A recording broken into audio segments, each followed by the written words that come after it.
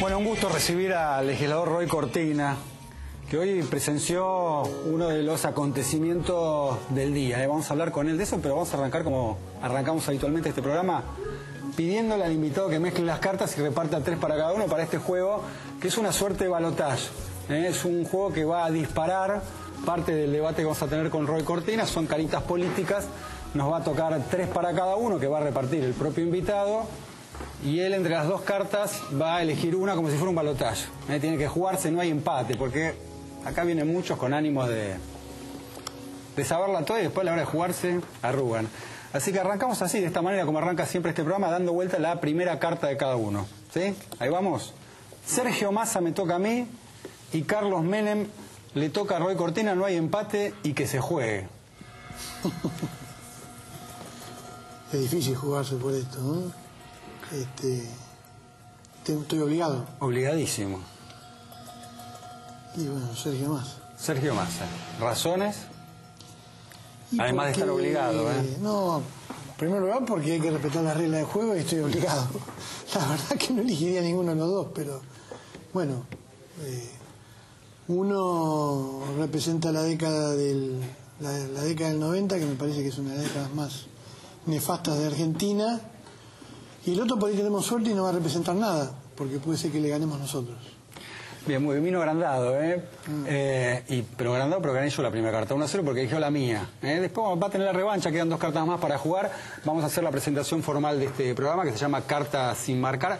Ya está aquí, Roy Cortina, ya lo vieron, pero también está el diputado provincial Fernando el Chino Navarro del movimiento Evita. Con él vamos a hablar un tema que, bueno, quedó un poco eclipsado por el tema vudú hoy, pero es un tema que sigue con cierta polémica y tiene que ver con la policía eh, comunal en la provincia de Buenos Aires, aprobada, en verdad no aprobada en el Congreso provincial, sino por decreto de Daniel Scioli, y hay cierto ruido interno dentro del espacio oficialista por la manera en que esto se ejecutó y además no tiene nada que ver con lo que era el proyecto original y me parece que hay cierto enojo de algunos sectores.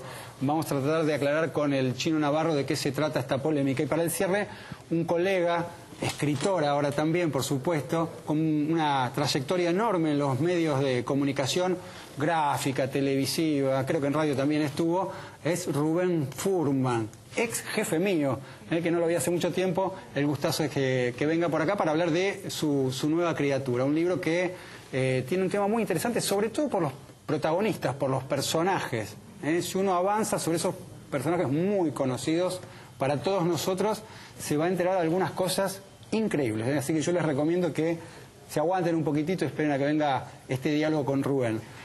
Pero vamos a hablar con Roy Cortina. Decía que él fue de alguna manera testigo de lo que fue el acontecimiento del día. Estuvo en la comisión de juicio político donde pasó, miren, le voy a decir lo siguiente, vamos a hacer lo siguiente. Podemos leer lo que decía Roy Cortina, lo que puso en su blog, de alguna manera anticipando lo que pasó hoy. Se los leo. Dice, lamentablemente cualquier estrategia parlamentaria que impulse el juicio político de Vudú va a terminar archivada, porque el oficialismo está decidido a frenar cualquier intento en este sentido.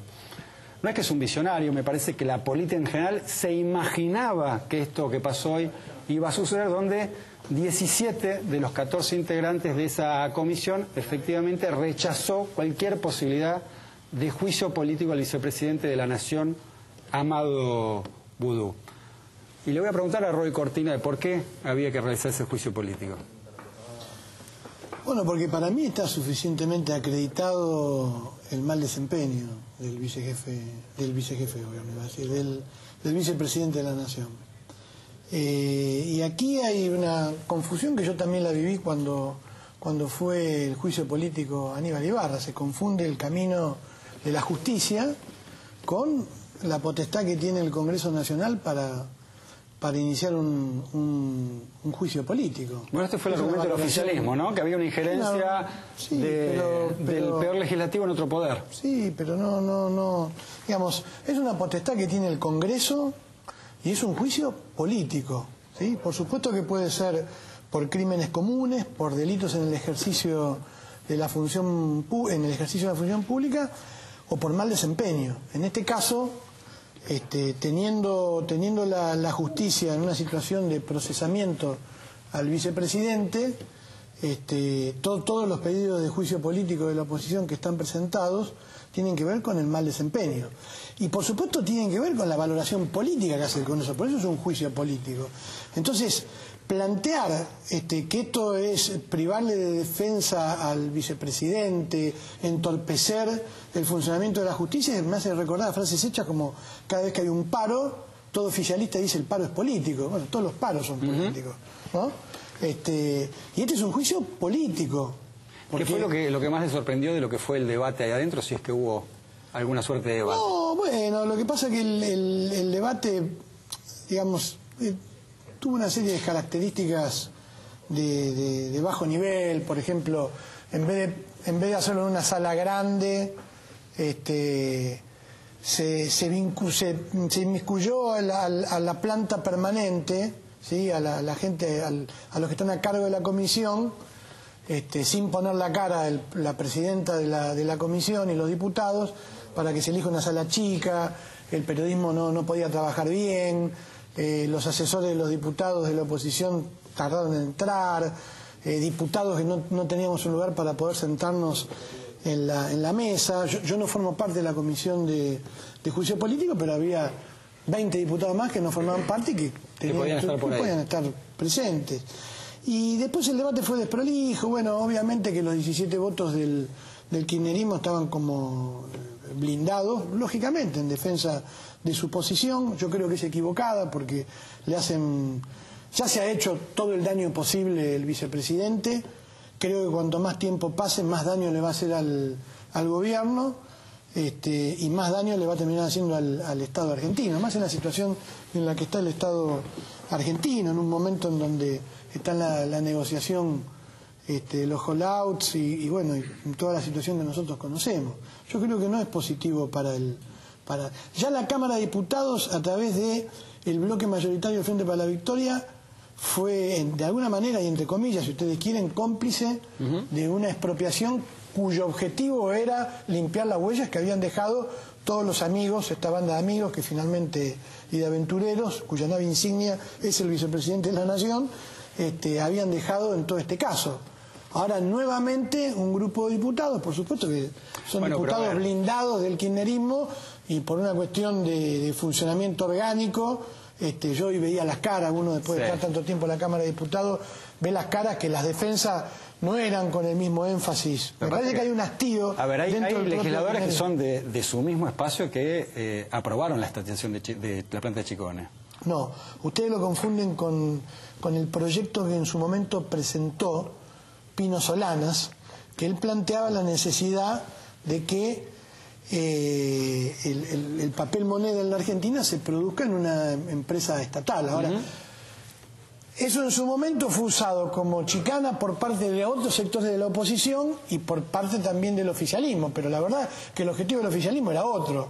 El objetivo del oficialismo es que se acordó de la, la estatización de Sicone con otro objetivo. Cuando ya estaba comenzado el escándalo de Vudú, cuando ya empezaba a abrirse la investigación de la ruta del dinero, las conexiones entre Van der Broek, eh, Núñez Carmona, etcétera, etcétera, con Vudú, entonces presentan un proyecto que es inaudito, en donde los que los diputados que, votaron la expropiación todavía no saben a quién están, a quién han expropiado. Porque todavía no se sabe quién es el dueño de, de, de Sicone. Le quiero preguntar a Roy Cortina si estoy hablando con un eventual potencial candidato a jefe de gobierno porteño. Sí, sí, sí, sí. Sí, vamos a dar una, una disputa por la, por la jefatura de gobierno, además porque estamos obligados nosotros por dos, dos motivos. En primer lugar, porque los porteños nos han colocado en una situación de competitividad eh, electoral y de disputar y de generar una alternativa al macrismo. Y una competencia interna que es de economistas, ¿no? Está Lustó, Pratgae... Bueno, yo no soy economista. No, no, por eso digo. Ni estoy de paso por la ciudad, pero esa es otra historia. Pero después cuando, cuando sea la campaña... ya arrancó la campaña, ¿no? Sí, cuando sea la campaña se, pondrá un poco más de picante. Pero lo que quería decir que uno está obligado a hacer una interna porque de alguna manera fuimos vanguardia en esto de utilizar las pasos, que paradójicamente era una ley, debo reconocer lo que criticó, en muchos aspectos la oposición y terminó siendo una buena una buena ley. A mí me gusta reconocer. Es una buena ley, además es una buena ley. y, lo paradojal de Argentina es que el, gobierno no la utilizó y ahora la quiere utilizar. Yo creo que la interna del Frente para la Victoria va a ser una interna interesante porque tiene muchos candidatos. tiene, tiene alguna necesidad también para contener. Bueno, por supuesto, por supuesto, pero va a ser interesante. Y no, yo creo que acá en la ciudad de Buenos Aires nosotros este, estamos obligados, como fuimos pioneros, yo creo que va a ser una interna que no va a tener menos de tres o cuatro candidatos. Y en esa interna, bueno, yo pienso... Me estoy olvidando de alguien, yo dije Lustó, Pratgay, Carrió también va a estar en, la competencia aquí en Capital. Sí, hoy yo creo que está más más orientada para el lado de ser candidata a presidenta, pero, pero puede surgir algún otro candidato. Vamos a hacer, vamos a, vamos a tomar un respiro, vamos a jugar otra carta. Se puede mirar, nosotros la podemos mirar, ¿eh? Bueno, ah. hablamos de ella, ¿eh? Lilita Carrió y Victoria Donda, dos personas que integran este Frente Amplio UNEN. Hay que jugarse acá también, ¿eh? no, no, sí, claro que me voy a jugar. Eh, ninguna de las dos es de mi partido, pero me voy a jugar. Yo creo que es más representativa de este espacio. Tengo un gran cariño a Victoria, pero es más representativa de este espacio y más importante estratégicamente para la construcción que tiene el Frente Amplio UNE en Carrió. Bien. Definitivamente. Le pregunto al aspirante a jefe de gobierno porteño cuál es el límite. Lo pregunto concretamente porque en Córdoba parte de este armado frente electoral cerró con Mauricio Macri. Sí. Vos fuiste históricamente un competidor interno de Mauricio Macri.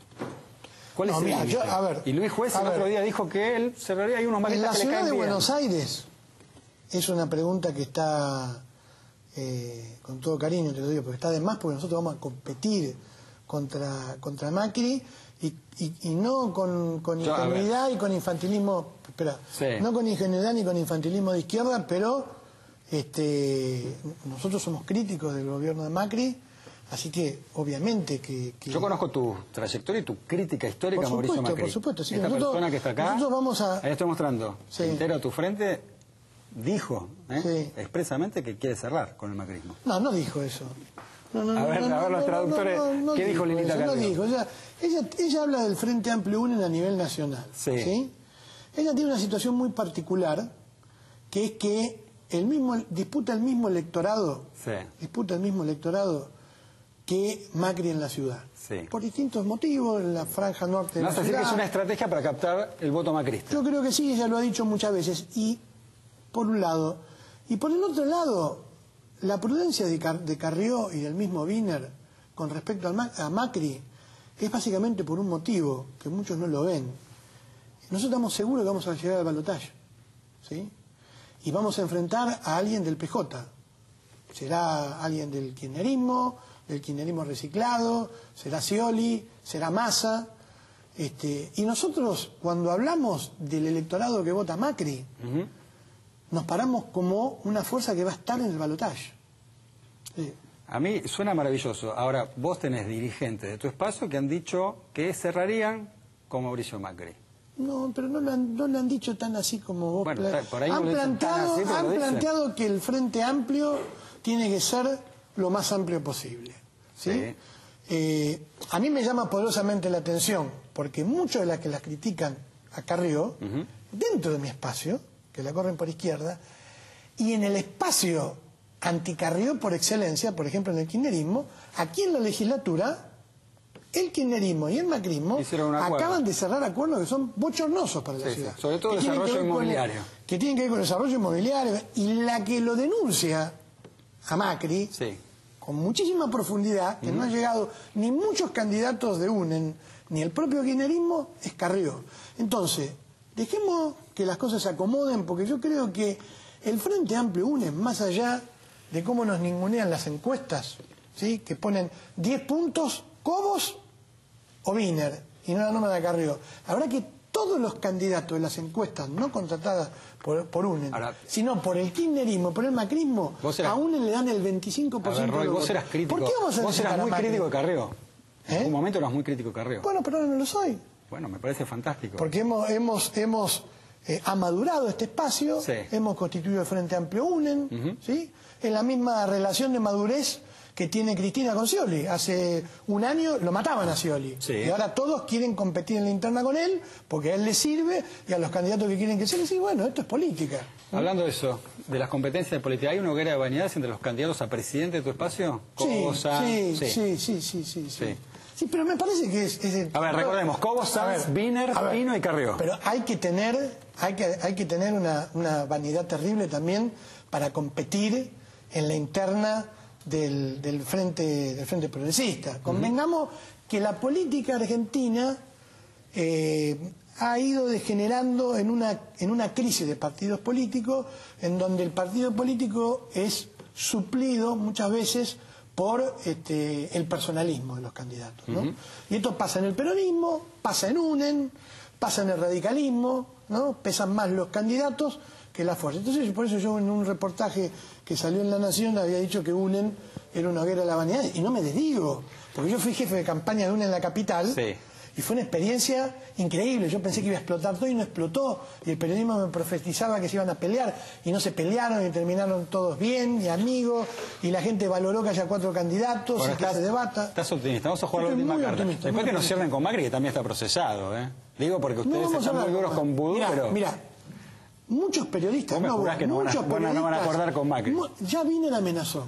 Dijo que cualquier cualquier suma no sirve. Y todo el mundo pensaba hace cuatro años que Wiener, prudente como es, callado como es, iba a cerrar con Alfonsín y con Narváez. Y le dijo a Alfonsín, si cerrás con el Narváez te vas a, te vas a arrepentir toda la vida. Y Wiener armó el FAP y salió segundo, lejos de la presidenta, pero salió segundo. Yo te creo lo que dice ¿eh? Pero el radicalismo, a través de Aguad, dice otra cosa. pero el radicalismo... A través de Luis, Juez se dice otra cosa. Pero a ver, ahora te parece que el Frente Amplio une, se ven columnar, atrás de Aguad o atrás de Wiener. El líder, el líder, por votos, por atrás de Cobos o Sanz, que no descarta una alianza con el macrismo. Va a ganar Wiener esta interna. Y va a suceder lo mismo que en Santa Fe.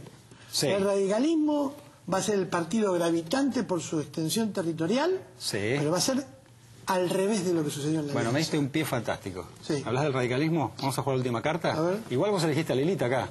O sea, te voy ganando 2 a 0. Pero, está la posibilidad de que no quede Zapatero. está, claro, está claro que va, voy a perder 3 a 0 con vos. Mirá quién tengo. Cristina Kirchner versus Ricardo Alfonsín. No, Ricardo Alfonsín. Ricardo Alfonsín.